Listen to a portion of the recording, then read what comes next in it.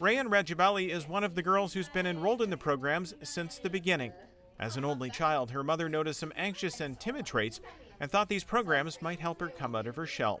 Before this program, I was really introverted and I was really quiet and um, I didn't really, I was really awkward while socializing. And that's where She Can stepped in, gave her a lot of confidence, gave her, you know, more tools to use in terms of, you know, uh, being able to interact with other peers outside of her bubble. And it's just one of those programs that I feel every girl should have the um, access to. This class is the She Can Create program. In another room, the girls are learning in one of the other She Can streams.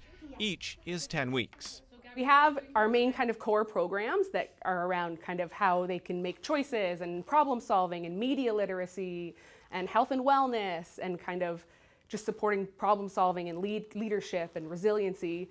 So really kind of expanding on these a variety of ways where girls might need to build those skills for lifelong success. And many girls between the ages of 8 and 13 are discovering this opportunity. Just under 700 were enrolled over the past year, with hopes that it can reach 1,000 this year. For Rayanne, it's important that these classes are all girls. We're all girls, so we can all try and relate to each other, and um, I find we can help each other through like little, maybe little like dark times and like be there for each other. We know that girls are face they face a sharp decline in their mental health and well-being between the ages of 9 and 14.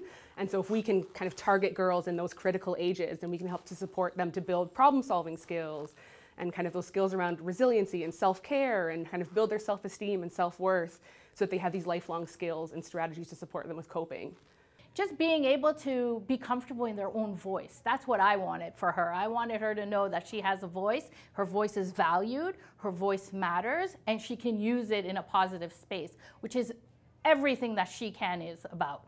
The Resource Center would like to expand the series of She Can programs, but that takes funding, which is why MCRC is hosting a 5K Walk Runner Roll event in June. Everyone's invited to participate either solo or by registering a team you register your team, come up with a fun name, and um, you start fundraising. So it's that peer-to-peer piece. You send the links and the information to your friends and family, and they can donate to your team. Check out the webpage for more information at mcrc.on.ca slash 5k.